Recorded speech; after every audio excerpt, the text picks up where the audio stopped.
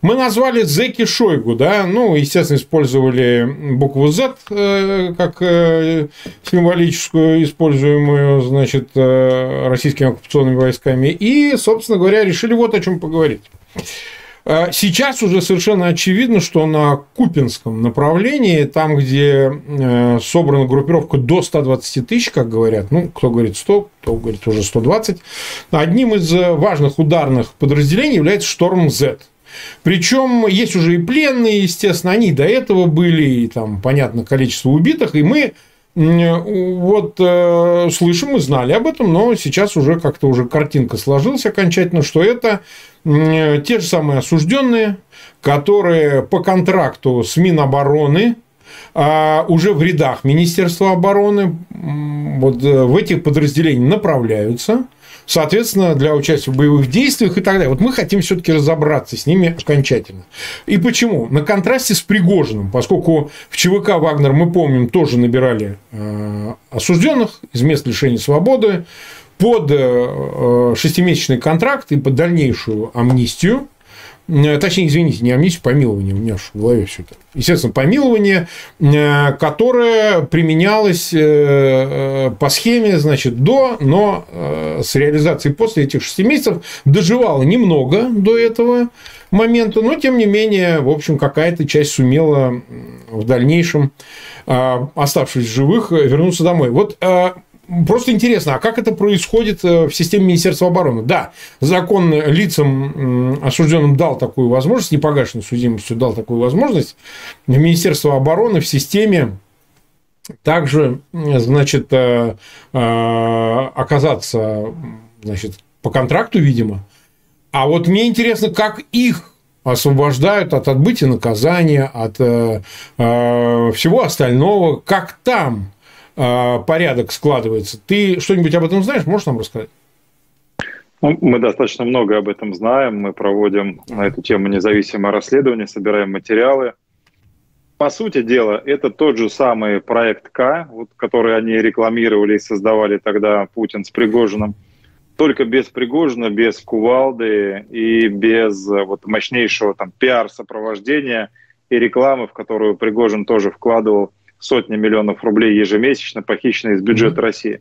Все остальное ровно то же самое. Начиная с февраля-марта этого года полковники Министерства обороны, особенно один из них, самый известный э, такой рекрутер, э, полковник Смирнов, они объезжали исправительные колонии, э, заманивали практически тем же самым, что и Пригожин, помилованием, государственными наградами – Э, зарплатами, выплатами порядка 200 тысяч рублей в месяц. Все то же самое. Но обещали, что никто по головушке не будет бить больше кувалдой. И, соответственно, обещали, что командовать ими будут не э, головорезы, э, которых из Сирии отозвали, а кадровые военные. Во многом обманули, конечно же. Обманули, потому что в целом ряде подразделений так называемого «Шторма Z» есть одно из там, ответвлений называется «Север Z». Большая часть командиров, которых ставят над заключенными, это те же самые э, вагнеровцы, те же самые наемники, которые просто сбежали вовремя от Пригожина, переметнулись, подписали сами контракты и стали военнослужащими Российской Федерации. Э, например, э, один из вот этих отрядов «Север Z» возглавляет Михаил Шлянин с позывным «Ректор». Это инструктор – Э, ЧВК Вагнера из Сирии, который со временем вот потом в дальнейшем э, примкнул э, к Минобороне и командует вот этим подразделением, продолжает гробить российских заключенных. Э, выглядит это следующим образом. Да, вербовщики приезжают, э, озвучивают условия, оперативники на местах заранее создают э, за несколько дней, а в некоторых учреждениях за несколько недель Э, невыносимые условия, постоянные обыски, избиения, провокации. Э, им активно в этом помогают и, с одной стороны, актив внутрикамерной агентуры КАПО, и, с другой стороны, не меньшую роль э, принимают участие так называемые блатные, которые в большинстве своем уже достаточно давно, плотно сидят на карандаше, являются негласной агентурой либо ФСБ, либо Главного оперативного управления ФСИН России – и которые со своей стороны создают умышленно давление на основную массу заключенных, это и придуманные карточные долги, это и э, угроза понижения в статусе и так далее. В нескольких учреждениях даже проходили так называемые там прогоны, вот эти вот бумаги, подписанные теми, кто пытается себя там называть э, вором в законе, хотя за пределами Российской Федерации к этим людям уже отношение именно как агентам ФСБ, которые значит, там давали какие-то даже преференции в среде заключенных, что вот кто соглашается ехать на войну, с тех никакого спроса, списывать карточные долги, э, там, в общем, максимально э, облегчает им э, такие условия, чтобы они как пробка из бутылки шампанского вылетали в сторону фронта. Ну а дальше все по старой схеме, ровно то же самое, что и с Пригожным. Приезжают автозаки, грузят их, приезжают на военные аэродромы, либо если где нет военных аэродромов, тогда вот на базовый региональный аэродром. Туда прилетают Ил-76 Министерства обороны, те же самые, которые Пригожину таскали заключенных. Они точно так же заключенных э, перевозят, доставляют на э, территории сопредельные с оккупированными, как правило, это Ростовская область, военный аэродром разгружают и уже везут в лагеря слаживания. Робу меняется на военную форму. У нас вот есть некоторые видео, которые мы до сих пор пока еще не опубликовали, планируем сделать в ближайшее время. А, ну, в летний период а их переместили э, там, в леса, такие лесополки, чтобы там прятать, чтобы их скрывать, потому что весеннее время активно ВСУ э, там, разбивали с помощью хаймерсов и других современных видов вооружения все эти общежития, которые они использовали для проживания. Соответственно, их переместили в палаточные лагеря, в землянки, вот, где они, собственно говоря, жили, где их там вооружали винтовками Мосина и какими-то старыми 40-50-летней давности автоматами. У нас одно из этих видео, которое мы готовимся опубликовать, там прям видно, как им вот эти винтовки Мосина, из которых они там тренируются стрелять. Но чтобы было понятно тем, кто не специалист в этом, винтовка Мосина была разработана э, больше ста лет назад, можно в Яндексе да. в Гугле это посмотреть. Она в конце и... 19 1895, по-моему, я боюсь соврать. Да, да, да, со- со- соответственно, да. она модифицировалась чуть-чуть, но она очень старая. Да, то есть, ну, это вот мы говорим про 2023 год э, и так далее. Вот, ну а дальше их толкают на передовую. На передовой та же самая история. Э, шаг назад, расстрел. Э, попытка сдаться в плен э, со спины наносят минометные, артиллерийские удары, там из пулеметов стреляют и так далее. Та же самая система, вот, условно, которую там, ну, принято называть заградительными отрядами. По сути дела, mm-hmm. это командиры, это помощники командиров, которые стоят за спиной, которым периодически дают вот это вот живое мясо, чтобы их там бросали на передовую, если те, соответственно, бегут назад, э, их, ну, как уже второй год это вошло в обиход, да, их обнуляют, их там расстреливают. Э, то есть э, в подразделениях подконтрольных Шойгу, по сути дела, те же самые нарушения прав человека, те же самые нарушения обычаев войны, та же самая мясорубка, только растянутая практически по всей линии фронта. Зачем она им нужна? Очевидно, нету очередей желающих э, записаться в военкомат и ехать воевать угу. против Украины. Э, вот они э, отсутствие желающих заменяют заключенными. Более того, есть важное дополнение, которое я хотел бы здесь у тебя озвучить на канале. Начиная со 2 августа поступило прямое указание от руководства ФСИН России во все территориальные органы готовить списки начался рейд э, и э, на уровне начальников отделов региональных управлений, начальники учреждений готовят списки, кто проходил военную службу в армии, у кого есть водительское удостоверение, какие у кого полезные могут быть профессии, как их можно использовать для фронта. Причем это списки не каких-то, скажем так, в кавычках добровольцев, хотя в полном смысле слова они, конечно, там явля- не являются добровольцами. Человек, который бежит от пыток, от швабры, от кипятильника, от изнасилования, от переводов в касту униженных и петухов, понятно, что э, добровольцами их нельзя называть. Но тем не менее, если раньше хотя бы формально э, у них какое-то заявление, от них отбирали и вынуждали их э, подписывать там 7-8 подписей в различных бумагах, где человек отказывался от своих прав, Готов был на всевозможные ограничения, то сейчас просто они готовят эти списки, так как уже, в принципе, даже вот эти вот условные добровольцы закончились, и их э, по спискам в ближайшее время будут отправлять, а в некоторых учреждениях уже отправляют, не спрашивая, хочет человек или не хочет.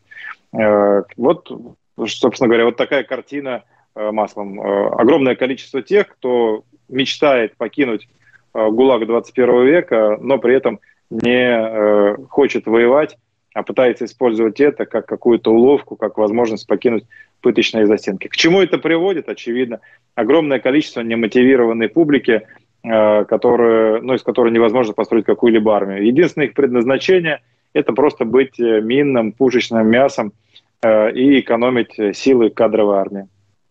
Угу. Так, 23 700 нас смотрит, 7,5 тысяч поставили лайки. Мы продолжаем, мы всего лишь там 12 минут в эфире. Но вот смотри, вопрос какой. Э, оценивают, что на Купинском направлении Шторм З, который принимает активное участие в боевых действиях, их посылают вперед, да, насчитывают от 3 до 4 тысяч. Вот ты можешь судить о численности вот э, таких зеков. Потому что хочется понять, во-первых, сколько за все время зеков было направлено э, в ЧВК «Вагнер», соответственно, теперь уже в систему Министерства обороны, и какое количество, ну, может быть, есть какая-то хотя бы грубая цифра, это там, не знаю, там 50 тысяч, да, 60 тысяч, там совсем грубые десятки тысяч хотя бы. Э, и второе, это а, исчерпаем ли этот ресурс. Насколько мне известно, что где-то ориентировочно в системе пенитенциарной сейчас отбывает около 450 тысяч. Ну, на, на, на прошлый год это было 450 тысяч лиц осужденных за разные преступления, они находятся и в общем режиме, и в усиленном, строгом там, а, и так далее. То есть, э, хочется понять, сколько они уже используют. 10%, 15%, 8%.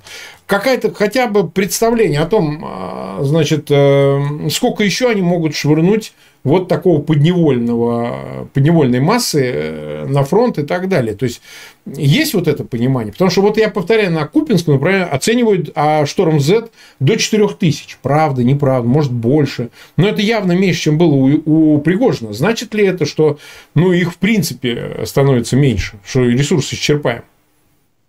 А, ну, во-первых, и у Пригожина не было разом 50 тысяч э, в ну, так понятно, называемого да в ЧВК «Вагнер», вот эту террористическую организацию, они отправили э, почти 50 тысяч осужденных. Э, более 22 тысяч э, погибли, либо в боях, сражаясь с ВСУ, либо в том числе есть огромное количество тех, кого они сами убили за отказ воевать, за отказ выполнять приказы, чтобы устрашать других и так далее.